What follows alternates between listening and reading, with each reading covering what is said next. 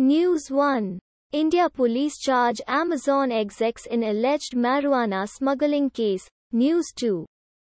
In Pak, Sidhu calls Imran, Bada Bhai. Draws flak. News 3. Hizb district commander killed in South Kashmir's Kulgam. News 4. Ashok Gehlot inducts 12 new faces in cabinet rejig.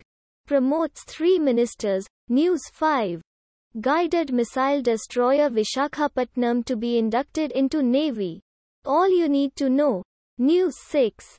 Telangana CM K. Chandrashekar Rao announces 3 lakh rupees each for kin of farmers who died during stir. News 7. Andhra Pradesh flood situation grim. CM reviews flood damage. Relief measures. News 8.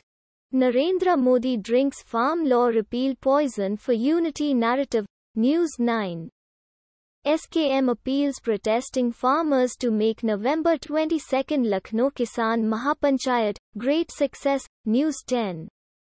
India logs 10,302 new COVID cases today. Active cases declined to 1, 24,868, automatically generated.